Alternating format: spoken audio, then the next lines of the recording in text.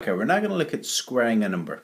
So this says 8 squared. This little 2 stands for squared. Okay, so if you ever see a superscript 2, it means you're going to square the number. To square a number, you multiply it by itself. So this is saying 8 squared, so you're going to do 8 times 8.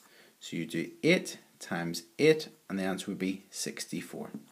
Okay, if we could look at another one, so for instance 5 squared, this is saying you're going to multiply 5 by itself, so you're going to do 5 times 5, which equals 25. As you get better at these, you won't need to write out the method. So for instance, if you were going to do uh, 9 squared, 9 times 9 is 81. So you can just write 81. Let's have a look at now. Uh, let's have a look now at doing some with a calculator and you seeing how to use this uh, button on your calculator, the button, the, the squared button. Okay, uh, we've been asked to work out 5.2 squared.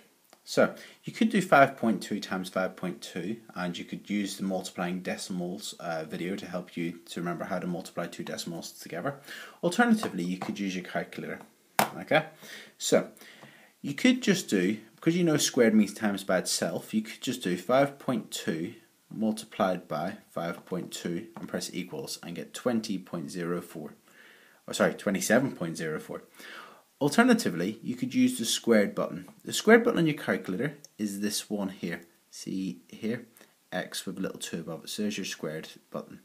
Um, if you're using a Casio. So you do 5.2 and you press this X with a little 2 and you'll see you've got the little squared symbol. Press equals and you'll get 27.04.